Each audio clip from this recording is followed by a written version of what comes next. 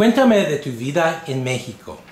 Bueno, gracias, Alan. Este, como tú sabes, este, yo pasé mucha de mi vida formativa en México, educado en México. Español es mi primer idioma. Este, y he trabajado muchos años en México, como la mitad de mi trabajo formal ha sido o viviendo en México o relacionado con proyectos en México. Este, trabajé un rato con este, los hoteles Posadas, Grupo Posadas, desarrollando lo que ahora es eh, los hoteles Fiesta Inn. Esa idea se la llevamos a México de un grupo de aquí, de, este, de Texas, eh, los hoteles La Quinta, y agarramos el concepto, que es muy bonito, y la llevamos a México hace, empezando, voy a decir, 20 años.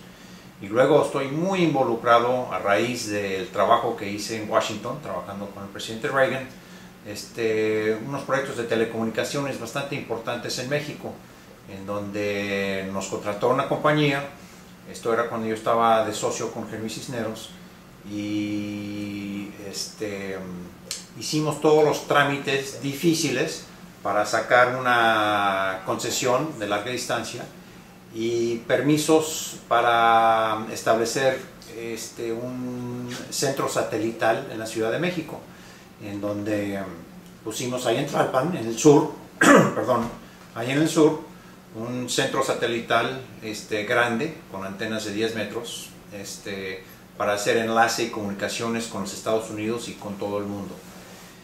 Luego a raíz de eso, esa, compañía se llamaba Intelcom de México, se lo vendimos a Comsat de México y ahora opera ya en estos días este, con una compañía que se llama British Telecom, muy conocida este, nacional, internacionalmente. ¿no?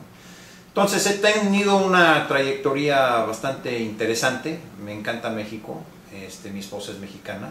Y pues sigo trabajando y viajando entre San Antonio y México.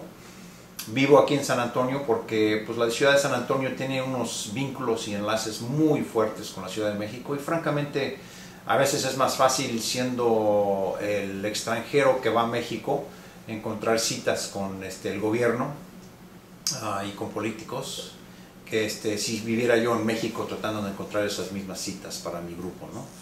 Entonces tengo ahora una compañía de, de patentes de tecnología nueva que desarrollamos y este, sigo yendo y viniendo con el Telepuerto de México, que todavía tengo un dedo ahí, y otros proyectos de energía, este, especialmente, que este, estamos estableciendo con el gobierno de México y también con la iniciativa privada.